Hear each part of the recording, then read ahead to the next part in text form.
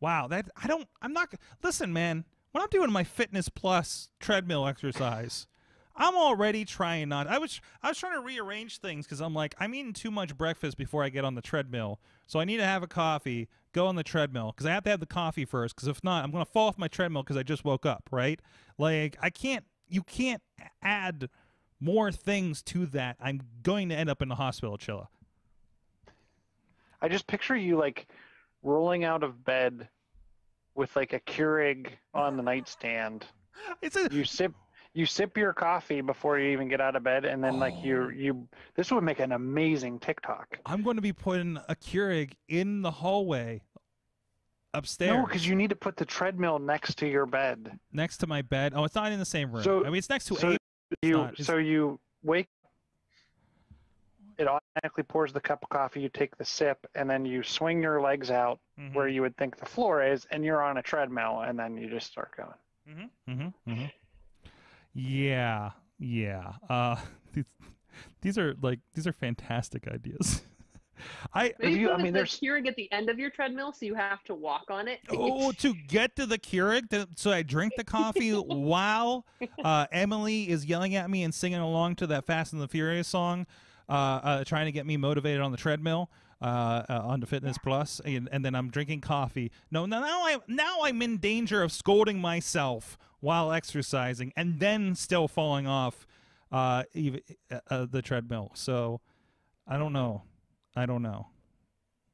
Either way, that that Keurig's probably going to have to move. like I feel like we're dangerously rolling into uh, Foreman Grill in bed so he can have toast in the morning or, or bacon in the morning. Uh, uh, Michael Scott territory here a little bit, right? Uh, so I don't know. Can I put the Keurig in the bathroom? Is that weird? That's a little weird. That no, I don't want to do that. Why is it weird? That's not too weird. Do you want to poop next to a Keurig? I'll say it. Well, no, but I Do yeah. you, I or do you want the Keurig? Do you do you want a Keurig next to where you poop? No, and I guess I'm thinking like I don't know the how. bathroom that's listen. next to our bedroom has like a little closet in the back, Okay, okay, like okay. with a, like with like a like like a little like uh, folding door or whatever. I was thinking, right, oh, right. wouldn't be Oh, too bad okay, to put one so back. so you you have a different. I, I got like just enough room for bathroom appliances in my bathroom. Okay, I don't have a lot of room for that. It's just not going to work. Uh, so um, no.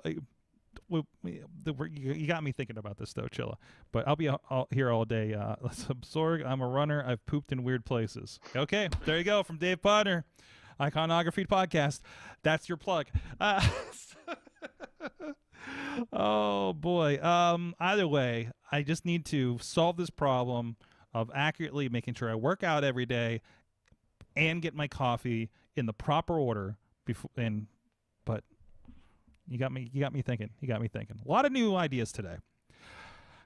But do I get a desk bike? So to me, uh, my my favorite was when I would. It was before we had the Keurig, and we always used the uh, a percolator. Um, Mm-hmm. and we had a percolator on a remote switch down in the kitchen. So you could literally back when the X10 before iHome and it- before any of like the the cooler, more current home automation stuff, we had an X10 um, outlet thing down or down in the kitchen, and you would wake up and you'd reach over and hit the button, and it would turn on the the old school coffee pot percolator, and it would be ready when you got downstairs. Mm. Mm-hmm. Oh, one way or another. So, um, all right. Before we talk about poop again, we should probably get out of here. Uh, so uh, first off, Chilla at Chilla on the Twitters, of course, to ask him where he wants to put his Keurig.